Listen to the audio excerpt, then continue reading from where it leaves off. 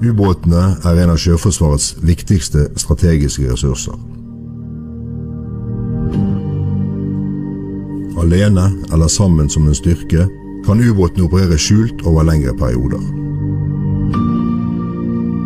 Fra våre innerste fjorder til det åpne hav.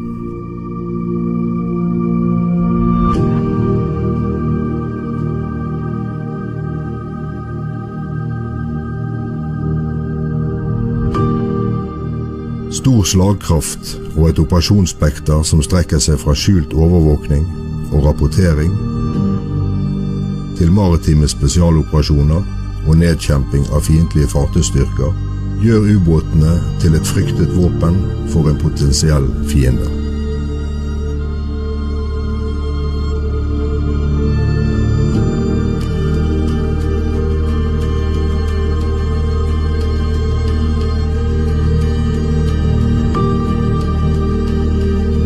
Ubåtene er skjult, men til stede.